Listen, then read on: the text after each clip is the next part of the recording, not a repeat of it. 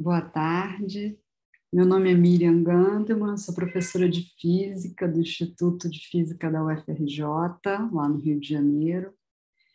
E eu coordeno o Museu Interativo da Física, junto com a professora Elis Sineker, que também é professora lá do Instituto. Eu queria agradecer muito o convite, nunca participei do Congresso de Iniciação Científica de vocês, da Unicamp, é um prazer estar aqui, falar um pouco do museu, falar do desafio que é a divulgação científica, principalmente das áreas de ciências exatas e tecnologias, né? E vou apresentar então para vocês um pouco do, do nosso trabalho.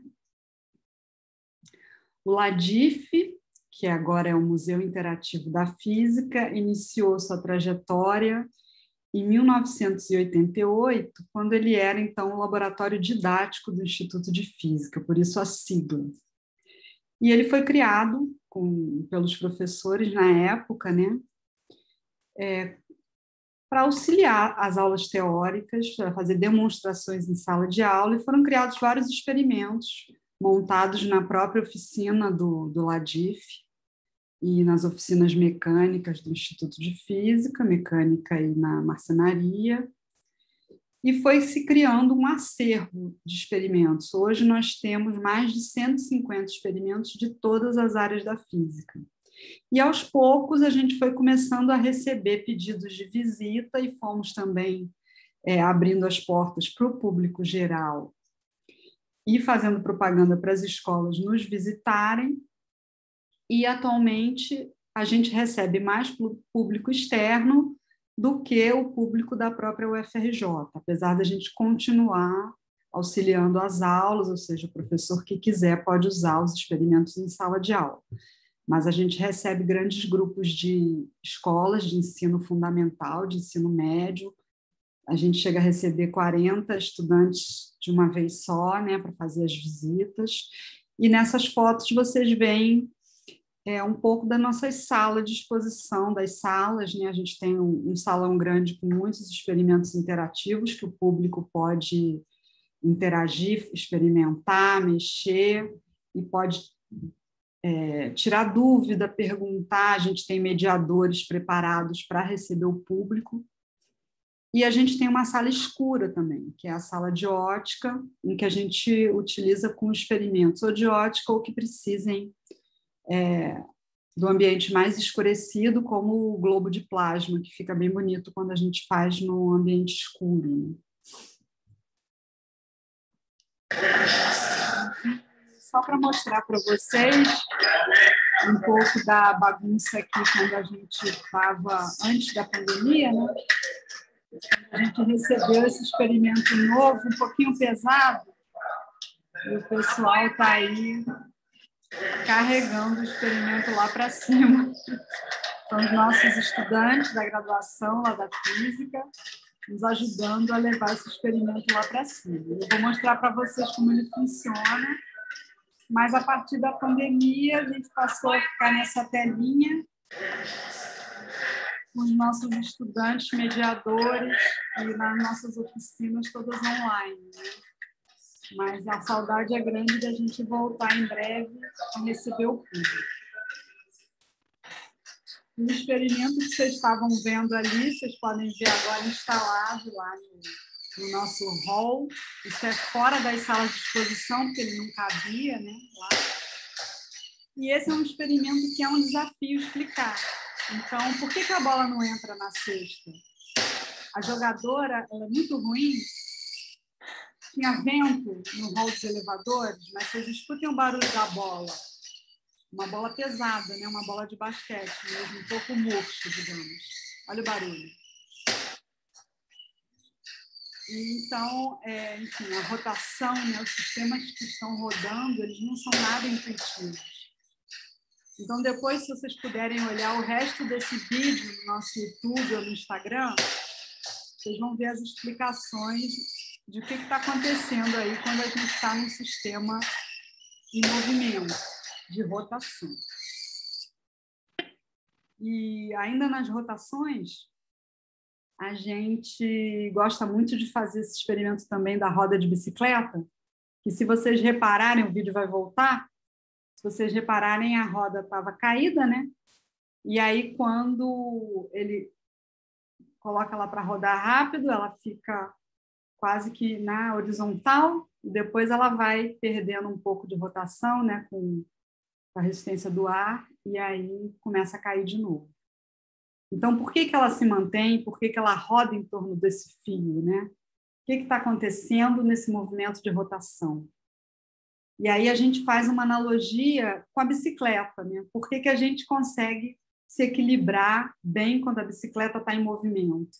E com a bicicleta parada é difícil se equilibrar sem colocar o pé no chão. Então, essa é uma das formas né, de você pensar no movimento de rotação. Nesse caso, um pouco diferente do, do sistema que eu mostrei anteriormente. Né? O sistema que eu mostrei anteriormente é um sistema que a gente está num, numa rotação é, permanente, né? E aqui não, aqui você está rodando só a roda e não a pessoa junto com a roda. Né? Mas tudo isso vocês podem olhar no vídeo, que o vídeo continua, eu cortei um pedacinho, e tem as explicações lá eu não vou explicar tudo aqui. Vocês vão ficar curiosos e vão lá olhar nosso Instagram e nosso YouTube. Então, quando a gente faz essa divulgação né, para pessoas que são do público geral, crianças, adultos, pessoas mais idosas, a gente, é, na verdade, a gente cria mais perguntas do que a gente responde. Porque a ideia da divulgação científica é gerar curiosidade, mostrar o fascínio que a gente tem pela ciência, pela física, no meu caso, sou física, mas pela ciência em geral, e criar essa, né, gerar essa curiosidade para as pessoas e essa vontade de saber como tudo funciona, como funciona o sol, como funciona por que, que o céu é azul, como funciona o meu celular, as tecnologias, a ciência, tudo à nossa volta e a gente gostaria de aproximar o público, né? O público leigo em física e química e ciência, o público não cientista, da ciência e da tecnologia. Então, a gente cria mais perguntas, mais curiosidade do que a gente responde. Algumas coisas a gente responde com mais profundidade, outras coisas a gente indica as respostas, mas não responde totalmente. Aqui fica a pergunta também de por que, que o vidro de dentro some quando o óleo vai subindo, né? O óleo é transparente também. Aí vocês podem pensar um pouquinho por que, que o vidro some aí dentro. E aqui está o nosso é, nosso Instagram, o nosso YouTube, para vocês darem uma olhada aí nesses vídeos.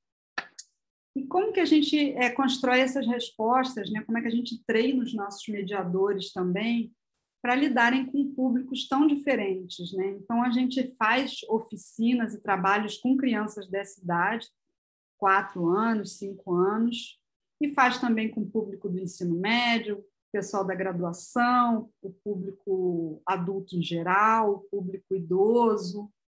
Então, assim, o nível, evidentemente, de explicação, de perguntas, de respostas é bem diferente, né?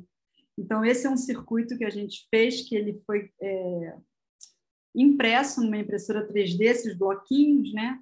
Eles se conectam uns nos outros através de um ímã que faz a ligação elétrica. O ímã é, é metálico, né? Um condutor. E aí, quando ele, assim, quando o circuito é ligado, né? Esse lego, né? Fica quase como um lego. Ele é ligado com a polaridade certa, acende, acende a luz e roda aqui o ventiladorzinho, e quando liga errado não acende, não liga nada, né? Então as crianças brincam aí com a polaridade da bateria, com a forma de ligar o circuito, o circuito aberto evidentemente não acende. Então, e aqui do lado vocês veem um, um robozinho, né, com energia solar, que as crianças montam a partir das pecinhas e colocam no sol para andar. Então, a, o nível de explicação em cada caso, né, é muito variado e o nível assim e também o tipo de atividade que a gente faz. Quando a gente faz oficina externa, como é esse caso, ou quando a gente trabalha lá no museu, é bem diferente também. Claro, lá a gente tem muito mais experimentos, mas sempre é um desafio e é uma alegria ver a reação do público, né? Cada um com a sua reação. E falando ainda das oficinas, dessas de circuitos elétricos, a gente fez essas três oficinas. É, essa primeira aqui foi lá na UFRJ, um grupo de alunos do ensino médio que veio visitar a gente. É a mesma oficina, em vez de ser os blocos de Lego, a gente fez um circuito em papel. A gente colava fita de cobre, ela é uma fita autoadesiva, com tipo durex de cobre, que fazia o papel do fio do circuito, colocava bateria LED para acender a lâmpada, seria um LED, né? E a gente fez no Jardim Botânico e foi muito engraçado, porque a gente estava esperando grupos que vinham visitar o Jardim Botânico, né, grupos escolares de crianças e tal, a gente se preparou cheio de lapiseira, lápis de colorir, borracha, pilô, enfim, e aí quando o primeiro grupo que chegou foi um grupo grande de senhoras que estavam fazendo uma visita guiada no Jardim Botânico, e elas não esperavam esse tipo de atividade proposta, e a gente não esperava também um público dessa cidade, mas foi ótimo, muito engraçado. Elas se divertiram bastante com o nosso circuito. E aqui a gente fez uma atividade no Instituto Reação, não sei se vocês conhecem, é o Instituto do Judoca é, Flávio Canto, que é medalhista olímpico, né? E ele tem esse instituto que ensina judô a crianças lá da favela da Rocinha. E a gente foi ao instituto que é ali no, na parte esportiva da, da favela. E a gente fez uma semana de física no Instituto Reação. Foi muito legal com as crianças lá que vão lá para aprender judô, né? e eles fizeram esse circuito, desenharam no papel e acenderam os LEDs, foi muito interessante. Então, sim, são três grupos etários muito diferentes e a reação com o mesmo tipo de, de atividade foi muito muito boa. Assim. As perguntas são de vários níveis bem diferentes, claro, mas funciona muito bem em todas as idades. E agora a gente tem feito, não agora, né? antes da pandemia a gente começou já com isso, a explorar mais as tecnologias usadas no dia a dia, porque a gente percebeu que as pessoas, é, muitas têm dificuldade, não entendem como que funciona, e a maioria não sabe o que, que tem por trás daquela tecnologia, como que ela está funcionando, qual a ciência, né? quanto tempo de desenvolvimento científico foi preciso para se chegar nessa solução tecnológica, nesse aparato tecnológico. Então, a gente resolveu fazer uma coletânea de experimentos e é, textos e materiais sobre essas tecnologias. Né? Então, o laser é um exemplo, depois, quem tiver interesse, pode procurar no Google a história do laser. Mas quando ele foi criado lá na década de 60, é, as pessoas falavam, ah, é uma, parece ser uma solução muito boa, mas a gente não sabe para que, que ela vai ser usada. Uma solução para qual problema? Porque era uma fisicamente, né, no, no laboratório, foi uma coisa muito interessante você descobrir essa luz que é tão coerente, é tão intensa, né? E é essencialmente uma luz quântica, né? um, fenômeno quântico, fenômeno de emissão estimulada que produz a luz laser, e as pessoas não sabiam para que, que isso seria utilizado. E nunca se pensou que aquilo fosse ser usado para fazer cirurgia no olho, para visão, cirurgia de catarata ou é, tratamentos dermatológicos, para cortar materiais com grande precisão. Então, enfim, uma série né, de, de utilizações do laser né, para tocar música, enfim. Então, é, o laser é uma coisa bem interessante que a gente é, é, fez uma série de, de materiais para explicar. Aí tem o supercondutor, que, é, que é como funciona aquele trem que anda flutuando, né? Campo magnético, as telas touch do celular, do tablet, a criptografia, que agora a gente sempre recebe até essa mensagem no celular, essa mensagem está sendo criptografada, o que, que isso significa?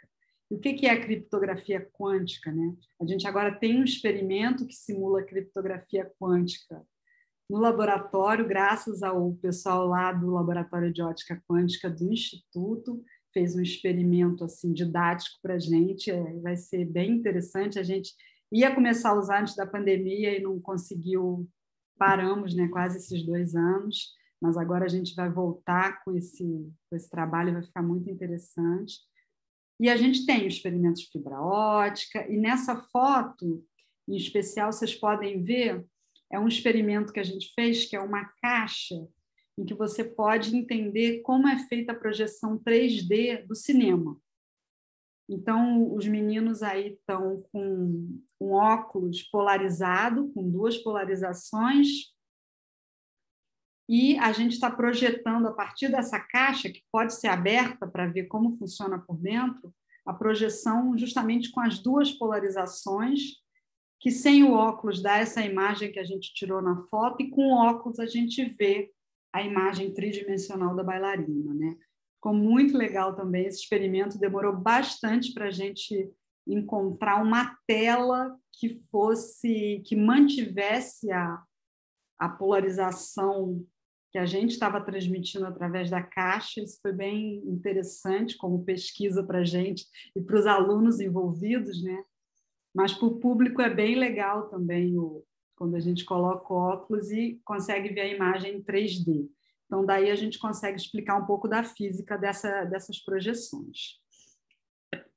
E uma outra coisa muito interessante, né, quer dizer, como que a gente aborda esses temas mais tecnológicos, né, que geram muito interesse do público, e o público em geral tem um conhecimento prévio de estar usando aquela tecnologia, ou de já ter ouvido falar, ou alguém tem que ele conhece, né? E fica o desafio da gente falar da física por trás, da ciência por trás, da tecnologia desenvolvida, sem ter que usar tantos conceitos, tanta linguagem física ou a linguagem matemática, que é a linguagem natural da natureza, né, da, da física, da química, enfim, da biologia, que a linguagem da matemática ela simplifica muito a compreensão. Mas para quem não tem, né, essa é, é, intimidade né, com a matemática, não conhece a matemática a fundo, não utiliza a matemática no dia a dia, fica difícil é, falar com essa linguagem. Então, a gente tenta falar em português, né? inglês, português, né? em linguagem, é, vamos dizer, normal, né? sem ser matemática. Mas isso é sempre uma tradução da, do que a gente gostaria de falar em linguagem matemática para o português. Então, na nossa tradução ficam alguns defeitos, né, como toda tradução. Mas a gente vai tentando fazer isso através dos experimentos, através da experimentação, né, da pessoa ter contato com a base do que está acontecendo ali. E aí fica mais fácil passar essas ideias para o público para vocês e para todo assim o público de todos os níveis. Então, nesse vídeo aí, vocês estão vendo essas três placas é, de alumínio e elas formam, um, junto com o circuito elétrico que vocês veem aqui, eletrônico, né, que está ligado no computador, a gente coloca uma carga, uma voltagem nessa, nessas placas através desse circuito e mostra a visualização do que está acontecendo quando eu coloco a mão próximo dessas placas. Então, a nossa mão, nosso corpo é condutor de eletricidade. Quando a gente coloca a mão próxima da caixa, a gente fecha o circuito e a gente altera a carga existente, né, dada pela voltagem a essas placas. A gente altera a quantidade de carga elétrica que está ali com a nossa mão. E isso faz com que o computador consiga localizar onde é que está a minha mão no espaço. Você vê que a gente não está encostando a mão na, na caixa. A mão nunca encosta na caixa. Então, com aquela distância, a gente consegue influenciar a carga dessas placas de forma que o circuito eletrônico perceba onde está a nossa mão. Então, isso é o princípio de funcionamento das telas touch, né? Porque como que o celular consegue saber onde que está o seu dedo e qual o comando que ele tem que executar quando você coloca o dedo naquela posição, né? Então, você está colocando a mão num vidro, que é isolante, não é condutor elétrico. Então, é a mesma coisa, mesmo sem ter o contato elétrico, a distância, o seu dedo influencia o circuito do celular, ele consegue localizar a posição do seu dedo e, naquele circuito, aquela posição está associada a um comando específico é, que ele tem que executar. Então, com isso, né, esse é um experimento um pouco mais longo, que a pessoa tem que entender um pouquinho como estão feitas as ligações para poder não parecer tanto uma coisa assim é, de outro mundo, fantasmagórica, né? Mas que é muito legal, assim, muito interessante e dá essa ideia de como que funcionam as telas sensíveis ao, ao toque, né? Tela touch. E mais alguns experimentos, só para vocês verem. Esse, por exemplo, a gente fez, esse é bem simples de fazer em casa. Esse fui eu que fiz com meu celular mesmo. E se vocês olharem o vídeo completo, tá lá no YouTube, eu fiz para as pessoas fazerem em casa. E então peguei uma garrafa PET e fiz um furinho aqui, enchi ela de água. Aí fica saindo a água pelo furinho, né? A, água, a garrafa bem cheia de água, faz uma pressão aqui, a água sai pelo furinho. Aí com a mão mesmo, eu fui acertar o, apontador laser, um raio laser, né? Naquele furinho, bem no furinho, para vocês verem que a, a luz do laser ela acompanha o fio de água. Ela não segue em frente, como ela seguiria se não tivesse esse fio de água aqui. Então, ela, se vocês repararem bem nesse pontinho aqui, vocês vão ver que ela está refletindo na borda do fio de água que é o mesmo fenômeno físico que acontece dentro de uma fibra ótica, e com isso a gente consegue levar os sinais né, óticos por dentro da fibra ótica para onde a gente quiser.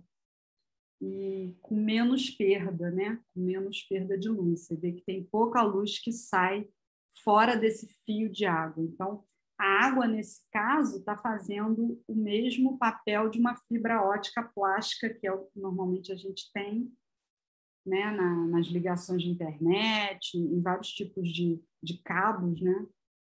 E, e, ela, dentro da fibra ótica, a luz tem essa reflexão. Então, se você virar a fibra, você consegue que a luz faça essa, essa curva, né? Dentro do fio e aí você consegue levar o sinal para os lugares que você queira, né?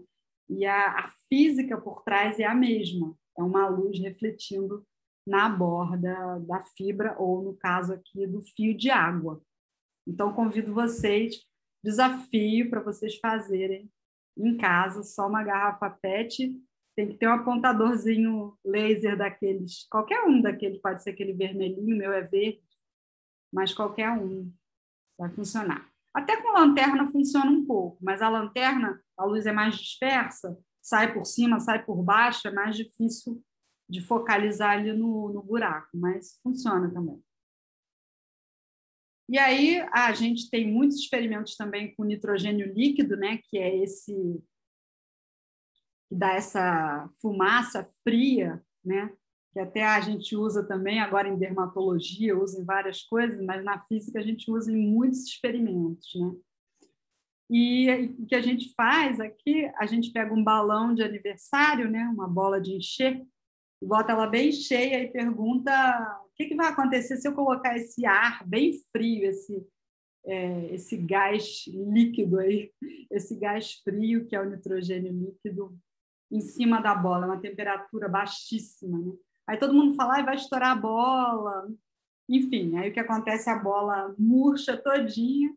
Isso aqui não é um filme, vocês não vão ver a bola murchar, mas tem lá também no, no nosso Instagram. Vocês vão ver a bola murchar e quando essa fumacinha fria se dispersa, que rapidamente ela ela se dispersa, né, e some, evapora, aí a bola volta a encher todinha e não estoura. Ela ela murcha, depois expande de novo com o aumento da temperatura e, e, não, e não estoura. Então é bem legal de fazer, mas enfim, um experimento mais assim luxuoso, vamos dizer, é um experimento que demonstra o supercondutor, aí é um experimento que tem que ser feito no laboratório, até porque o nitrogênio líquido a gente tem que manipular em geral no laboratório, que é perigoso, né, de você se queimar. E aqui a gente tem uma pastilha supercondutora, que é uma pastilha cerâmica que tem essas propriedades que foram descobertas, né, pelos cientistas que trabalham nessa área de, de supercondutividade, magnetismo. E ela tem essas propriedades que quando ela fica muito fria, ela expulsa o campo magnético dela. Então, a gente colocando um ímã aqui em cima dela, o campo magnético do ímã que tenderia a penetrar nela, ele é expulso. E aqui, ó, como vocês veem, ela fica flutuando. Então, se vocês observarem aqui, quando vier o zoom, vai dar um zoom aí na imagem, aí, ó, o ímã está flutuando direitinho em cima do, do supercondutor. Mas logo que ele esquentar, que acabar o nitrogênio líquido, que a fumaça sumir, aí ele não vai mais ser é, supercondutor, ele vai perder as propriedades, aí o ímã vai cair. Mas é, esse efeito é chamado efeito Meissner, quem quiser procurar mais por ele aí no, no Google. Vai, vai aparecer escrito aqui? É, ó, efeito Meissner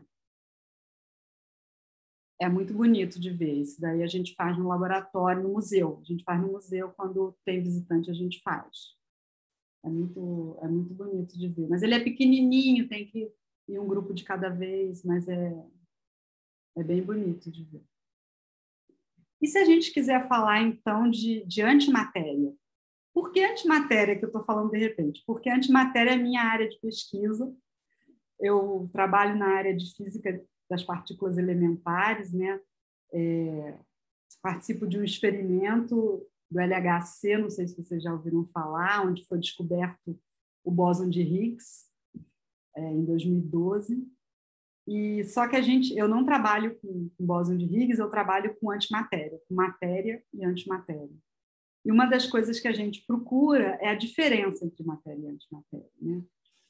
Então, desde 1998, que eu trabalho nesse experimento, foi quando a gente começou a construir.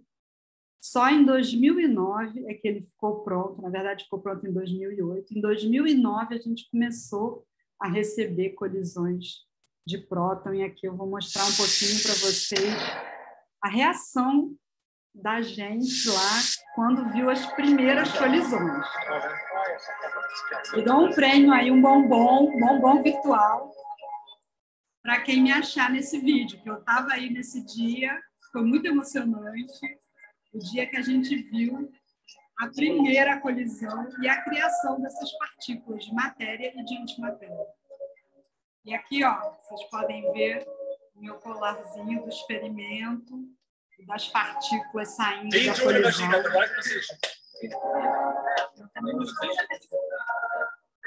Aqui, ó, minhas matérias e antimatérias. Aqui. Só tem matéria, né? Não ia aniquilar.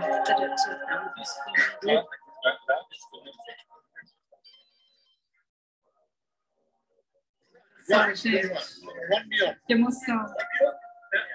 Olha eu lá. Um minuto, guarda. Circa 4, 4, 4, 20 minutos. Aí, olha o meu colar.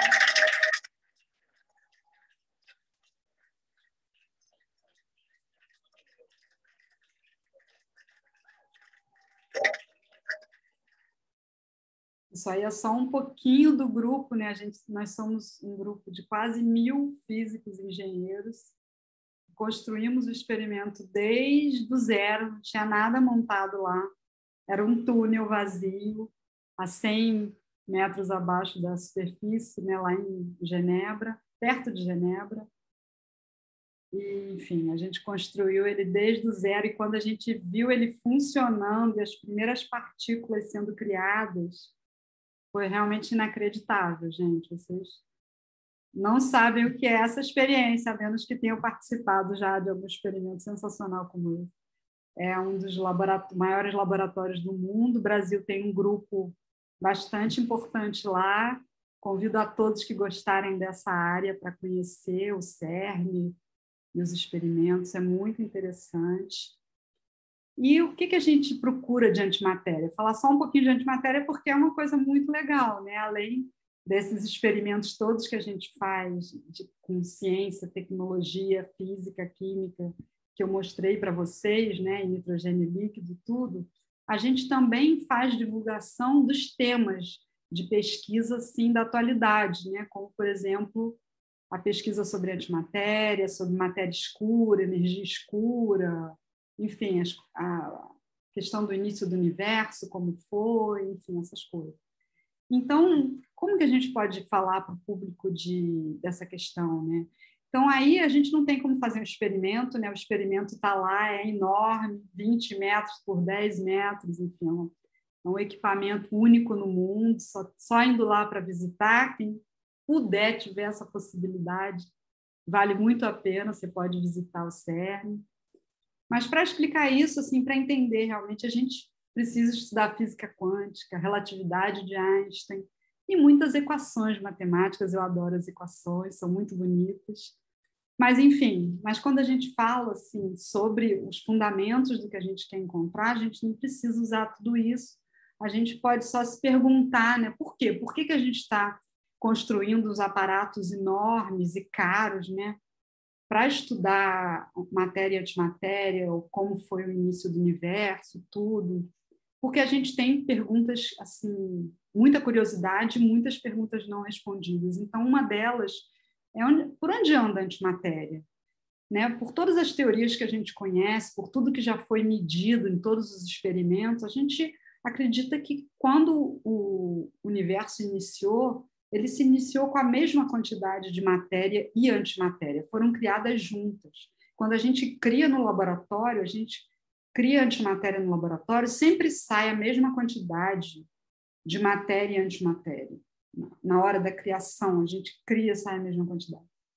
Então, o que, que acontece é, com a antimatéria? O que, que aconteceu naqueles momentos iniciais do universo que a antimatéria sumiu? No universo, a gente só olha e vê planetas, vê a Lua, vê estrelas. É tudo feito de matéria, tudo feito de prótons, de nêutrons, de vários elementos, né? Tudo matéria. Cadê a antimatéria? O antipróton, o antinêutron, o antielétron, o antitudo, todos os anti. Então, essa matéria sumiu. A gente consegue criar, criar em laboratório, consegue ver antimatéria vindo do espaço através de colisões de partículas que vêm do espaço e chegam até aqui, né? A gente consegue medir aqui, mas são partículas criadas a partir de colisões, de reações é, nucleares e tal. Mas onde está a antimatéria? A gente não sabe responder essa pergunta. E por isso a gente continua fazendo os experimentos, continua analisando os dados para tentar entender. Então, eu vou mostrar só um pouquinho desse vídeo rápido para vocês, falando um pouquinho dessa questão que a gente é, procura, e eu vou falar.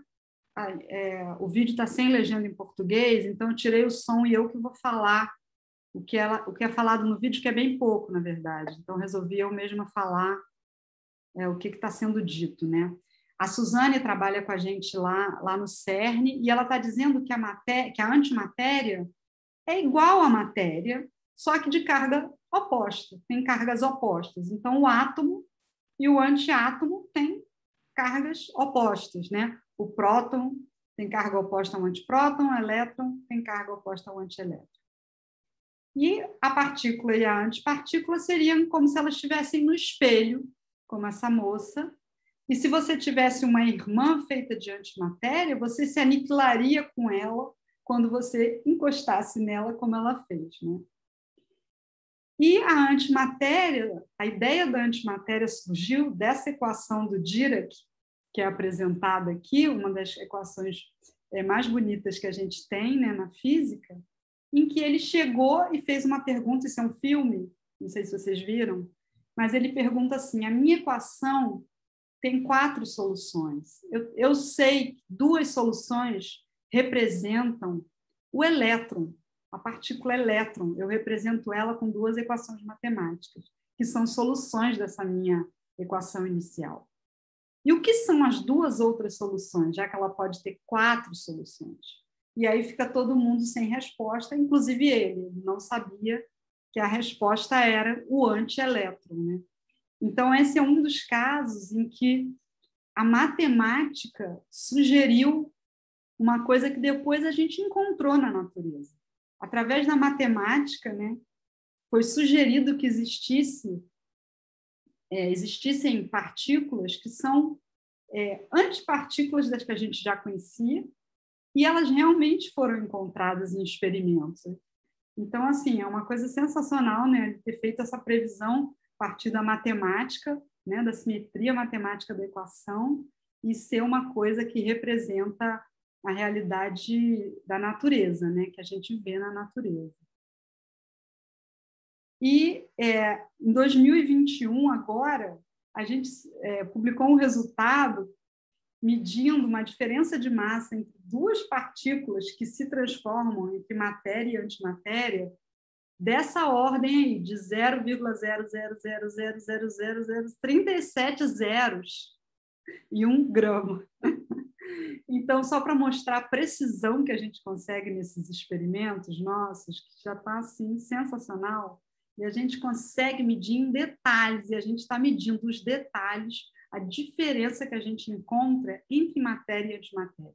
Será que é só a carga elétrica que difere de matéria e antimatéria, como a, a Suzane falou naquele vídeo? Na verdade, não. Na verdade, a gente já encontrou várias diferenças entre matéria e antimatéria, pequenas diferenças, mas a gente encontrou, e são dicas do que pode ter acontecido no início do universo. E a gente fez várias medidas, né? E eu não vou colocar aqui porque são muitos detalhes, seria uma outra palestra, né? Mas aí a gente é, criou essa, esse filminho, né, da moça dançando no espelho e o espelho está quebrado. Por quê? Porque ele representa, ele, ele não reflete a imagem que ele tá dela dançando, né? Então isso para dizer que a matéria e a antimatéria na verdade não são iguais e refletidas no espelho elas têm outras diferenças e a gente está procurando todas essas diferenças para entender melhor como funciona a natureza e, a, e o universo, né? Então, a gente coloca, que o espelho estava com defeito, né? Enfim, então, para terminar, espero que vocês tenham se divertido com os nossos experimentos, vídeos e com a antimatéria, que é sensacional.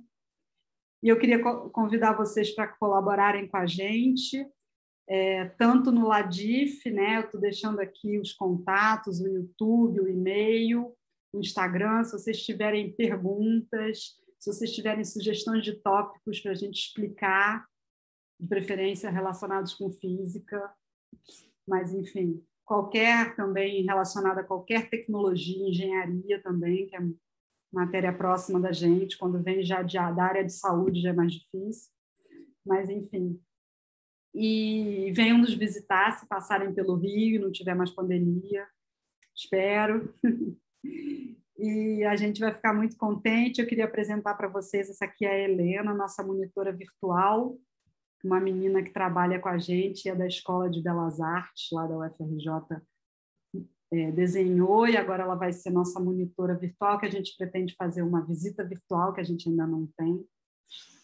Então, a gente convida todo mundo que quiser trabalhar com a gente, seja de design, de comunicação, jornalismo, físicos, engenheiros, químicos, pessoal que faz animação, vídeo, porque nessa pandemia a gente começou a fazer de tudo e a gente mesmo só tem expertise em experimentos e física. Mas o resto, vídeo, comunicação, falar com o público, não é tanto a nossa praia, né? A gente vai tentando, mas não é tanto a nossa praia. Então, obrigada, gente. Espero que vocês tenham gostado. Se quiserem fazer alguma pergunta, estou aberta às perguntas aí.